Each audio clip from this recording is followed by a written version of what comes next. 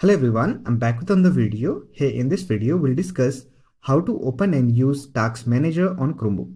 So with that being said, let's get started. To open Task Manager, simply press search and skip key. This will open the Task Manager. And here you will get the list of tasks that are currently running on your Chromebook. If you want to close any tasks, then you can simply select the tasks, then click on End Processes.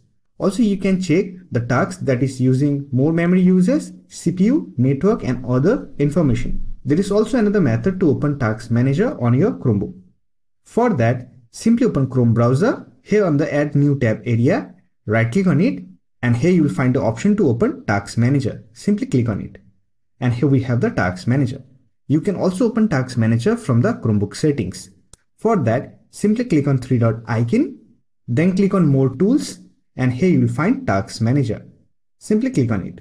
So that's it. This is how you can open and use Task Manager on Chromebook. I hope this video was helpful to you. If you found this video helpful, don't forget to hit that like button and subscribe the channel for more videos like this. Bye for now. See you next video.